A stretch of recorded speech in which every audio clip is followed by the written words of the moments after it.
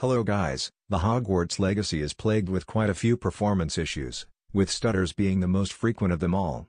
However, there are times when players also encounter sudden crashes, especially when going from one zone to another and a new environment starts to load. Hogwarts Legacy seems to keep crashing for some PC players.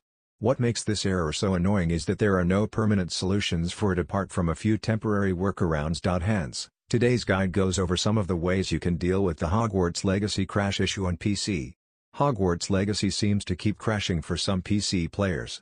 Hence, today's guide goes over some of the ways you can deal with the Hogwarts Legacy crash issue on PC. Let's start with 1. Restarting your PC. Restarting your PC might not seem like the most genius of solutions for the problem. However, it seems to have worked fairly well for many players in the community. After turning your system off and on, you'll be required to open Steam and restart the game once again. 2. Scan and fix files.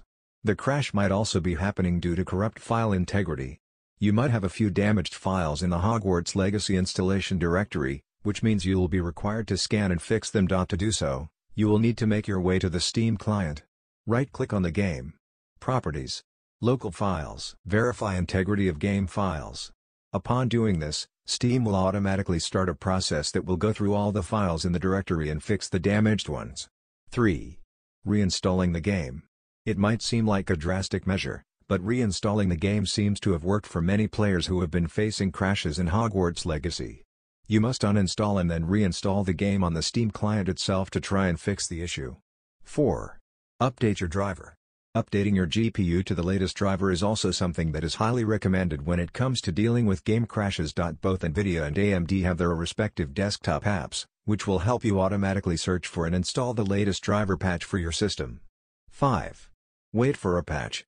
Hogwarts Legacy will likely receive a day 1 patch to deal with some of the performance issues that the community is facing. While one patch might not fix all the problems, Avalanche Studios will surely introduce subsequent updates in the coming days. For more please like and subscribe.